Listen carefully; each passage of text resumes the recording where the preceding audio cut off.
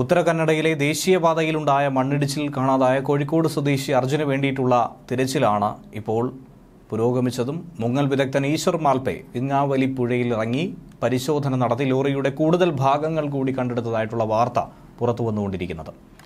അർജുന്റെ ലോറിയെ കൂടാതെ മറ്റ് ഒരു വാഹനത്തിന്റെ അവശേഷിപ്പ് കൂടി ഈ മേഖലയിൽ നിന്നും കണ്ടെത്താൻ കഴിഞ്ഞിട്ടുണ്ട്. മറ്റൊരു ലോറി കൂടി അർജുന്റെ ലോറിക്കൊപ്പം തന്നെ മണ്ണിനടിയിൽ ആഴ്ന്നു പോയിട്ടുണ്ടെന്നാണ് പ്രതീക്ഷിക്കുന്നത്.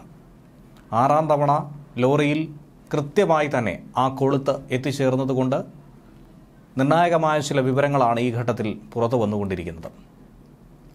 അർജുൻ ഉൾപ്പെടെയുള്ളവർക്ക് വേണ്ടിയിട്ടുള്ള തിരച്ചിൽ പുരോഗമിക്കുന്ന ഘട്ടത്തിലാണ് ലോറിയുടെ കൂടുതൽ ഭാഗങ്ങൾ കണ്ടെത്തിയതായി ഈശ്വർ മാൽപേ തന്നെ ചൂണ്ടിക്കാണിക്കുന്നത്.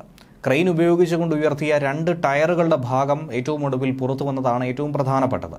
പക്ഷേ ഇത് അർജുൻ ഓടിച്ച ലോറിയുടേതാണോ എന്നുള്ള കാര്യത്തിൽ ആദ്യഘട്ടത്തിൽ വ്യക്തത വരേണ്ടതുണ്ടെന്നാണ് അധികൃതരടക്കം പറഞ്ഞത്. നാവികസേന സി പി ഫോർ എന്ന് അടയാളപ്പെടുത്തിയ മേഖലയിൽ നിന്നും മുപ്പത് മീറ്റർ അകലെയാണ് ലോറിയുടെ ഭാഗങ്ങൾ കണ്ടെടുത്തത്. ഏകദേശം പതിനഞ്ചടി താഴ്ചയിലാണ് ഇത് കിടന്നതായി ഈശ്വർ മാൽപേ വ്യക്തമാക്കുന്നത്. ലോറി തലകീഴായി മറിഞ്ഞു കിടക്കുകയാണെന്നും അത് പുറത്തെടുത്താൽ മാത്രമേ അത് ആരുടെ ലോറി എന്ന കാര്യത്തിൽ കൃത്യമായ വ്യക്തത ലഭിക്കൂ കൂടിയാണ് മനാഫ് അടക്കം ചൂണ്ടിക്കാണിക്കുന്നത്. ഇന്നലെ നടത്തിയ പരിശോധനയിൽ ട്രക്കിന്റെ ലോകഭാഗങ്ങളും കയർ കഷ്ണവും ഒക്കെ തന്നെ കണ്ടെത്തിയിരുന്നു. ഈ സ്ഥലം കേന്ദ്രീകരിച്ചാണ് വിശദമായ തിരച്ചിൽ പിന്നീട് നടത്തിയത്.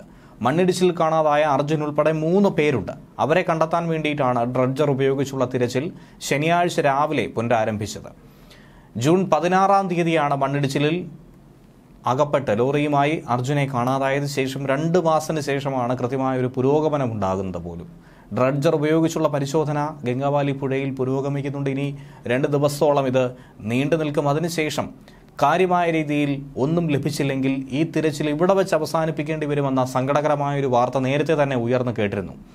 തിരച്ചിലിൽ ഇപ്പോൾ കണ്ടെത്തിയ വാഹനത്തിന്റെ ടയർ അർജുന്റെ ലോറിയുടേതല്ല എന്നതിൽ ഏകദേശ സ്ഥിരീകരണവും ഇതോടുകൂടി പുറത്തു വന്നിട്ടുണ്ട്.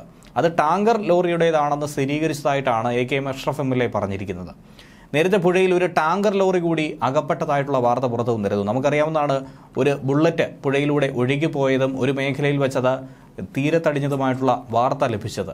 ഒരുപക്ഷെ ആ ലോറിയുടേതായിരിക്കാം മറ്റ് അവശിഷ്ടമെന്നാണ് ഇപ്പോൾ കരുതുന്നത്. ലോറി ഉടമ മനാഫും ഇക്കാര്യം തന്നെ വ്യക്തമായി പറയുകയാണ്.